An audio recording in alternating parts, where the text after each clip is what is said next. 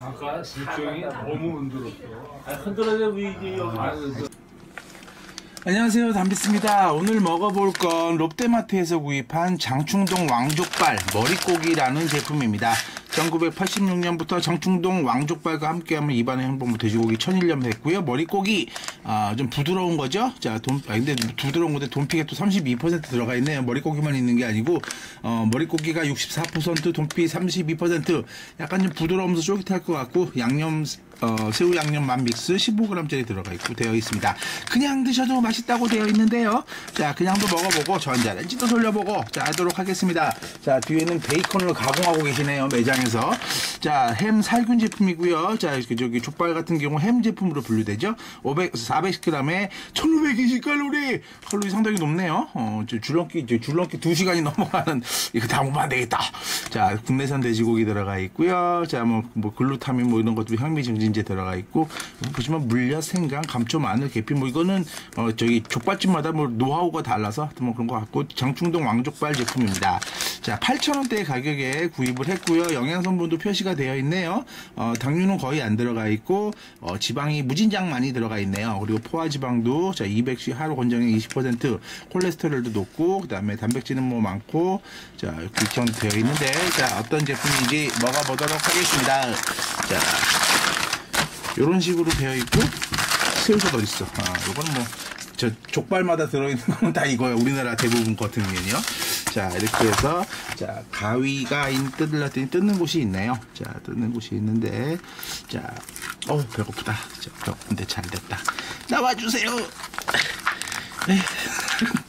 야, 야. 자 이렇게 뜯어주시면 자 나오겠습니다. 이따 우리 연석 간식도 주고 저녁에 또 집에 가서 부모님도 드릴 텐데 자 이렇게 되어 있는 자뭐 머릿고기라고 되어 있는데 편육하고 돼지 껍데기하고 같이 들어가 있는 정도의 부품이라고 보시면 될 것 같고요.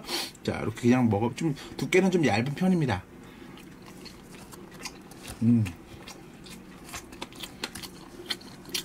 뭐가 좀 씹혀 뼈 같은 게 돼지 머리에 있는 거 이제 살 같은 거 하다 보니까 이거 누른 거죠. 여기 이제 그 돈피 그거고 뭐 머릿고기 그런 쪽인데 조금만 더 두꺼웠으면 좋겠다 싶은 생각이 드는데 뭐 맛있긴 하네요. 음. 이 정도가 8,000원. 뭐 대형마트에서 판매되는 거보다 조금 살짝 저렴한 정도? 그냥 맛은 뭐 그냥 괜찮은 것 같네요. 음. 요건 좀 두껍다. 두꺼운 게 좋고. 근데 이런 거는 저기 뭐 결혼식장이나 그 누구야 막 장식장 같은 데 가서 종종 드시는 거 먹어보면 또 그것도 괜찮긴 한데 자, 지금 전자레인지에다 한번 팍 돌려볼까요? 팍 돌리면 좀 어떨까요? 자, 요거를 갖고 한 20초 돌렸더니 안에서 벅벅 튀고 난리가 났습니다. 많이 돌리시게 되면 다 부서, 부서지죠? 부서지니까 그냥 드시는 게 가장 좋을 것 같은데 살짝 데쳐 드시는 것도 괜찮고요. 음, 흐물흐물한. 이것도 나름 매력이 있네. 흐물흐물해서. 그탕 같은 거에다 넣으셔 드시게 되면 이렇게 또 한몇 그, 분. 몇초 있었으면 그, 그 뜨거운 거에다 넣으시면 그 금방 다 부서집니다. 그래서 조각이 났어. 머릿고기 그 누른 거 뭐 그런 거기 때문에 뭐 분해될 수밖에 없는 것 같은데 또 이것도 나름 매력이 있으니까 나중에 한번 편육 드시게 보면은 좀 흐물흐물한 거 좋아하시면 이렇게 한번 돌려보시는 것도 어떨까 싶은 생각이 듭니다. 근데 먹긴 좀 힘들다. 국에다 넣으면은 뜨거운 국에다 넣게 되면 다 이렇게 분해돼가지고요. 무슨 뭐 건더기가 씹히는 듯한 느낌? 그것도 괜찮고요.